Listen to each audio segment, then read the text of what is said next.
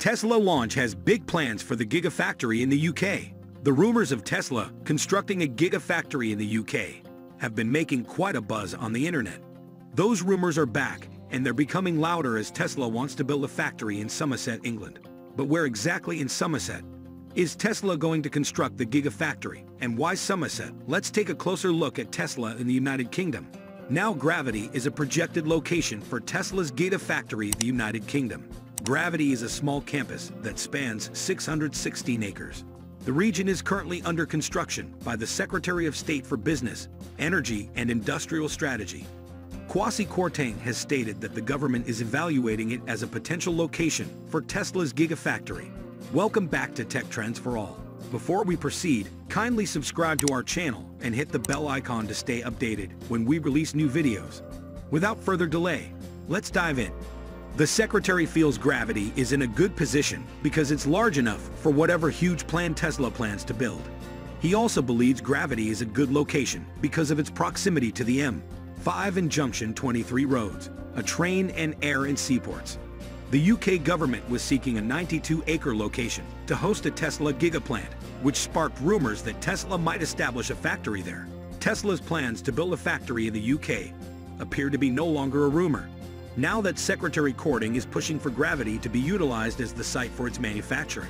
The minister also reaffirmed the government's commitment to electric vehicle and automobile industry support. Gravity is looking for global leaders in advanced manufacturing, artificial intelligence, robotics, and electric vehicles. According to the Somerset analysis, Britain will require one Gigafactory by 2022, by 2025, and 80 by 2040 to accommodate the demand for electric vehicles and batteries, according to the Faraday Institution. The United Kingdom's Institute for Petrochemical Energy Storage, Research and Skills Development now, although 92 acres may appear to be insufficient for production, it's nearly the same size as Phase 1 of the Gigafactory in Berlin. Tesla considered the United Kingdom as a potential location, but chose Germany first owing to Brexit. Rivian manufacturers were also searching for a production location in the United Kingdom. This would be the third factory for the electric manufacturer without a production vehicle on the road. The British government is thought to be in the early stages of talks with Gravity, and the investment might be worth more than £1 billion, according to sources. It's worth noting, though, that the UK is competing with Germany and the Netherlands for the right to host the new facility. The electric car company's ambitions for UK production follow report that it plans to invest 5 billion in the second facility in the United States. The location is believed to be in Pinal County, Arizona, and as part of the Arizona Innovation and Technology Corridor. Production is expected to begin in the second quarter of 2023, with construction on the so-called Project Tariff Plan starting in the fall of 2021. At the same time, Rivian will release its first production of electric vehicles. Tesla has long controlled the electric vehicle market, but not as much as it has in 2020. Tesla outsold its competitors in the EV market by such a large margin in 2020 that the business ended up with 79% of the market.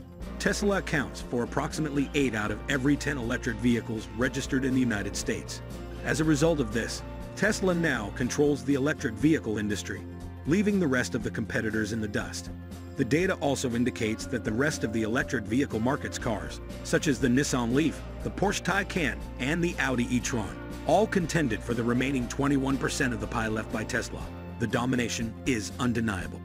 In a list of the top-ranking electric automobiles in the United States, Tesla took four out of the top five spots last year, with 90,135 registrations for the Model 3 and 71,334 for the Model Y Tesla took first and second place respectively. The Chevrolet Bolt electric vehicle, which was previously the third best electric vehicle in the country, only received 19,664 registrations over the year, making it a decent electric car with a long range and performance. But a distant third place to the top, two Tesla's Tesla's other models, the Model X and the Model S, which were struggling when compared to the Model 3 Y, came in fourth and fifth in the United States with 19,652 and 14,430 registrations, respectively. It's fascinating to note that despite the pandemic's developments, the market for electric vehicles continues to grow and thrive. Some say that's the same reason why the UK is very much willing to collaborate with Tesla.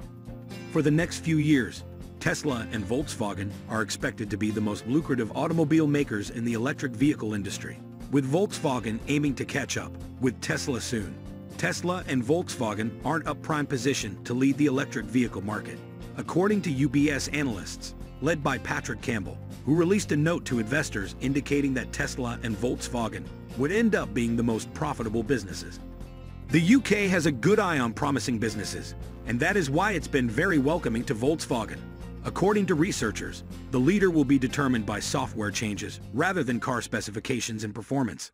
Tesla's software capabilities, such as full self-driving software, demonstrate that the company's leadership in the electric vehicle market is not reliant on its products.